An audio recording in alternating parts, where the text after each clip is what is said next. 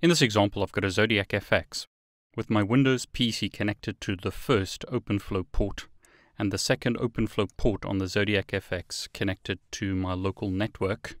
This non-OpenFlow port is also connected to the local network. So on the Zodiac FX, help shows me various options. And one of the commands I can use is show ports. So the show ports command shows me that port 1 is up. It's an OpenFlow port. Port 2 is also up and is an OpenFlow port. Port 3 on the switch is currently down. And port 4 is a native port. In other words, this port, port 4, is used to connect to the controller using a traditional network. And these three ports are running OpenFlow. But currently my PC is connected to one port and this port is connected to the rest of the network. This port is not connected currently. So to make this work, I've got my local Ethernet connection connected to the Zodiac FX on port 1, and it's configured with a default gateway. My wireless network is connected to the same network, but what I'll do is remove the default gateway to prove that I can't get to the internet. My HPE controller is running locally in VirtualBox. And I've bridged the VM to my wireless network adapter. So my wireless interface is running traditional networking, whereas my physical Ethernet interface is running OpenFlow. In other words, it's connected to an OpenFlow network. So in Windows, I should be able to ping the controller, which has this IP address, and I'm able to do that I'm also able to connect to the controller and I can refresh the list of OpenFlow switches connected. In this example, my Zodiac FX is connected and a flow has been written to the Zodiac FX. So this traffic is going through the wireless network. But as an example, I won't be able to ping google.com because my default gateway is only configured on my wired connection. And at the moment, the OpenFlow network only has a single OpenFlow rule sending all traffic to the controller. A Zodiac FX is a pure OpenFlow switch. So if I type OpenFlow help to see options, I can see that this option show flows shows me that single flow on the Zodiac FX sending all traffic to the controller. You have to manually configure the flow of traffic. So at the moment, port 1 is where my PC is connected, and port 2 connects me to the rest of the network. As you can see, Ethernet 2 is down, so I need to write a flow entry to allow my PC to send traffic from port 1 to port 2 on the switch.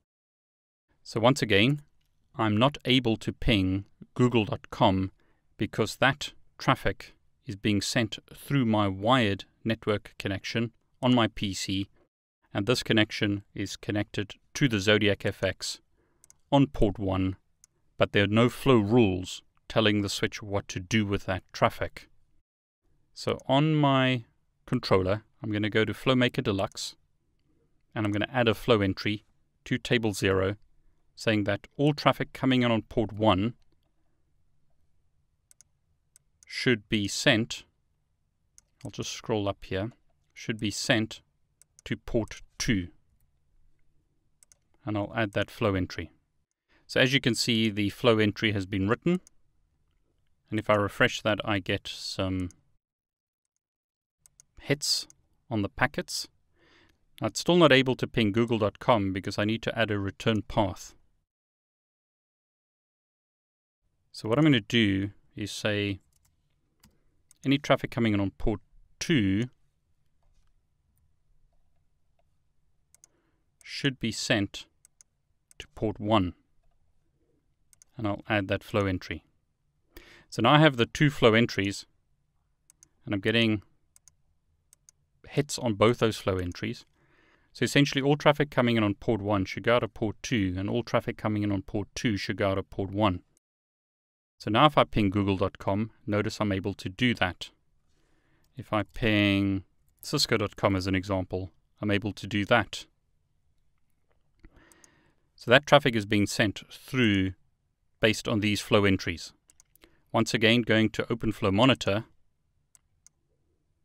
looking at ports, we've created a flow entry saying that traffic coming in on port 1 should go out of port 2. There are flow entries, and we're going to get hits on those flow entries as I send traffic through the network. So let's do a continuous ping to google.com. So that ping is succeeding at the moment. What I want to show you now is the effect of adding a flow entry to different tables and seeing how that affects the flow of traffic. As an example, I'll write a flow entry to table 0 firstly with a priority of let's say 20,000 saying that all traffic coming in on port 1 should be dropped. So the apply action is going to be no action and I'm going to click add. Notice now that my pings start timing out to google.com. And that's because we've written a flow entry to table 0, which is the first table in the pipeline with a higher priority, matching traffic coming in on port 1 and then dumping the traffic. So these three flow entries are not looked at in table 0 because we've got a match on a higher priority entry, which is then dumping the traffic. If I delete that flow entry, we should see that our pings start succeeding, and there you go. The pings are succeeding to google.com. So what happens when we write flow entries to table numbers like 1, 2, 3, and 4?